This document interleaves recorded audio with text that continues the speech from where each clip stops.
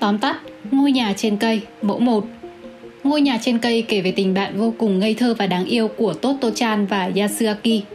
Toto-chan là một cô bé ngây thơ, đáng yêu, cố gắng hết sức để giúp đỡ người bạn đặc biệt của mình để cậu không còn lo lắng tự ti.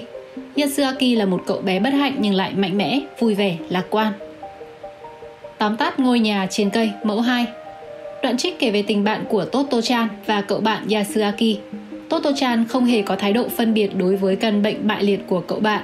Trái lại, cô bé cảm thấy rất thông cảm và muốn thân thiết với bạn. Toto-chan và Yasuaki có một cuộc hẹn trên cây. Do sức khỏe yếu nên rất khó khăn để Yasuaki có thể leo được lên cây, nhưng cả hai bạn đều không bỏ cuộc. Toto-chan đã giúp cậu bạn của mình được nhìn thấy những cảnh vật trên cây lần đầu tiên trong đời. Tóm tắt ngôi nhà trên cây, mẫu 3 Đoạn trích ngôi nhà trên cây kể về Toto-chan và cậu bạn mới quen Yasuaki. Yasuaki bị mắc bệnh bại liệt nhưng Toto-chan tốt bụng rất muốn làm bạn cùng cậu. Vào buổi dã ngoại tại trường, cô bé Toto-chan mời Yasuaki đến thăm ngôi nhà trên cây của mình. Vì Yasuaki đi di chuyển khó khăn, việc leo cây rất nguy hiểm và mất thời gian.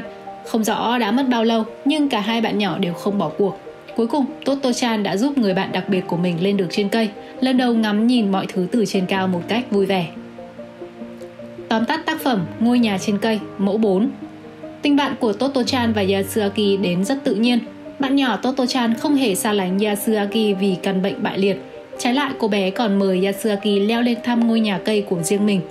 Vì chân của Yasuaki đi lại khó khăn nên việc leo cây lại càng không dễ dàng. Nhưng Toto-chan đã không bỏ cuộc. Cả hai bạn nhỏ cuối cùng đã thành công.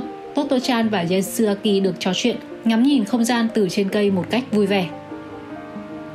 Tóm tắt tác phẩm Ngôi nhà trên cây, mẫu nam Tình bạn vô cùng ngây thơ và đáng yêu của Toto-chan và Yasuaki. Toto-chan là một cô bé ngây thơ đáng yêu, cố gắng hết sức để giúp đỡ người bạn đặc biệt của mình để cậu không còn lo lắng tự ti. Yasuaki là một cậu bé bất hạnh nhưng lại rất mạnh mẽ, vui vẻ, lạc quan.